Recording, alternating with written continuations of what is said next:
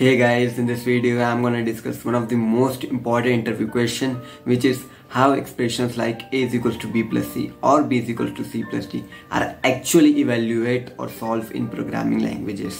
so, अब इस question को डिस्कस करने से पहले तीन इंपॉर्टेंट टर्म्स को डिस्कस करना बहुत ज़्यादा ज़रूरी हो जाता है और वो टर्म्स है infix expression postfix expression and prefix expression अब इन टॉपिक्स को हम इस वीडियो में क्यों डिस्कस कर रहे हैं ये आपको थोड़ी ही देर में क्लियर हो जाएगा so first of all we will see infix expression so infix expression basically उन एक्सप्रेशन को कहा जाता है जिन एक्सप्रेशन में ऑपरेटर जो होता है वो दो ऑपरेंट्स के बीच में होता है। For example A plus B इस पर्टिकुलर एक्सप्रेशन में प्लस हमारा ऑपरेटर है एंड ए और बी हमारे ऑपरेंट्स हैं। सो so, जैसा कि हम यहाँ पर क्लियरली ऑब्ज़र्व कर सकते हैं एक ऑपरेटर दो ऑपरेंट्स के बीच में है।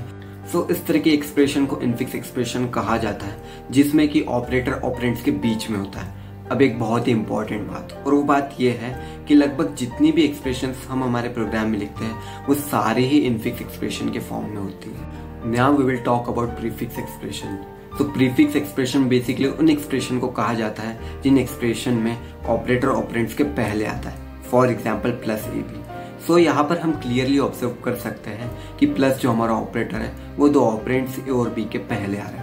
So the expression in which operator comes before the operands are called as prefix expression. अब बात करते हैं postfix expression के बारे में तो postfix expression basically उन expressions को कहा जाता है जिन expressions में operator operands के बाद में आता है for example A B plus तो जैसा कि हम क्लियरली ऑब्ज़र्व कर सकते हैं प्लस जो हमारा ऑपरेटर है वो दो ऑपरेंट्स ए और बी के बाद में आ रहा है so the expression in which operator comes after the operands is known as postfix expression अभी आप बिल्कुल भी टेंशन ना लीजिए ये सोचकर कि ये तो बस शॉर्ट ही समझी इनफिक्स प्रीफिक्स और पोस्ट फिक्स के बारे में। आने वाले वीडियो में हम इसके बारे में डिटेल में देखेंगे। अभी बस आप इतना समझ लीजिए कि जो कंसेप्ट हम आज के इस वीडियो में समझने जा रहे हैं उसके लिए इनफिक्स प्रीफिक्स और पोस्ट फिक्स का इतना नॉलेज होना सफिशियंट है। तो so, अब बढ़ते हैं आज के इंपॉर्टेंट डिस्कशन के ऊपर कि एक्चुअली में एक्सप्रेशंस कैसे इवेल्युएट या सॉल्व होती है प्रोग्रामिंग लैंग्वेजेस में। Now you all might think that कि एक ऐसा क्वेश्चन है डेफिनेटली हम जब भी अपने प्रोग्राम में कोई भी एक्सप्रेशन लिखते हैं तो कंपाइलर उन एक्सप्रेशन को एग्जीक्यूट करने के लिए ओएस के पास भेजेगा। देन ओएस उन एक्सप्रेशन को सॉल्व करके रिज़ल्ट को जनरेट कर देगा। बट ऐसा बिल्कुल भी नहीं है। और यही चीज़ है, आप इंटरव्यू में कह के आते हैं और आपका आंसर यही गलत हो जाता है। रियलिटी तो यह है कि आपने इस आंसर में एक बहुत ही इंपॉर्टेंट कंसेप्ट मिस कर दिया, जिससे कि आपका आंसर आधा अधूरा ही रह गया। सो आइए अब देखते हैं कि एक्चुअली में चीज़ें कैसे होती है। एक्चुअली में होता क्या है ना अगर किसी भी एक्सप्रेशन में दो या दो से ज़्यादा ऑपरेटर्स हैं तो उन एक्सप्रेशन को सॉल्व करने के लिए प्रेसिडेंस का नॉलेज होना बहुत ज़्यादा ज़रूरी हो जाता है। विदाउट प्रेसिडेंस उन एक्सप्रेशन को सॉल्व करना इम्पॉसिबल सा हो जाता है। तो so, जैसा कि मैंने आपको पहले ही बताया था कंपाइलर किसी भी एक्सप्रेशन को सॉल्व या एग्जीक्यूट करने के लिए ओएस के पास भेज बट अब यह ट्विस्ट ये आता है कि ऑपरेटिंग सिस्टम को प्रेसिडेंस का बिल्कुल भी आइडिया नहीं होता।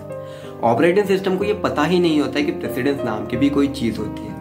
और हमारे प्रोग्राम में लगभग हर एक्सप्रेशन इनफिक्स के फॉर्म में होती है, जिसे कि सॉल्व करने के लिए प्रेसिडेंस का नॉलेज होना बहुत ज़्यादा ज़रूरी हो जाता है। बट जस्ट हमने थोड़ी देर पहले देखे थे कि ऑपरेटिंग सिस्टम को तो प्रेसिडेंस का आइडिया बिल्कुल भी नहीं होता है। तो अब यहाँ क्वेश्चन ही आता है कि फिर ये एक्सप्रेशन सॉल्व होती कैसे होगी? सो अब जरा ध्यान से सुनिएगा। जैसा कि मैंने आपको बताया था ऑपरेटिंग सिस्टम को प्रेसिडेंस का नॉलेज बिल्कुल भी नहीं है। बट मैंने आपसे ये तो नहीं कहा था ना कि कंपाइलर को प्रेसिडेंस का नॉलेज बिल्कुल भी नहीं है। Compiler can understand the precedence of operator so compiler सबसे पहले आपके प्रोग्राम में जितनी भी एक्सप्रेशन अवेलेबल होंगे उन एक्सप्रेशन को इधर प्रीफिक्स या पोस्टफिक्स में कन्वर्ट करेगा। डिपेंडिंग अपॉन द कंपाइलर कि कंपाइलर को डिज़ाइन करते वक्त ऐसे क्या इंस्ट्रक्शंस दिए गए थे कि एक्सप्रेशन को पोस्टफिक्स में कन्वर्ट करना या प्रीफिक्स में कन्वर्ट करना।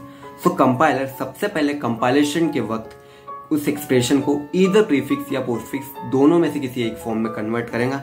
आफ्टर दैट वो उस कन्वर्टेड एक्सप्रेशन को ओएस के पास भेजेगा। अब ओएस इतना समझदार है कि उसे ये पता है कि प्रीफिक्स और पोस्टफिक्स एक्सप्रेशन को कैसे सॉल्व करते हैं। तो ओएस उन एक्सप्रेशन को, उन कन्वर्टेड एक्सप्रेशन को सॉल्व करके रिज़ल्ट जनरेट कर देगा।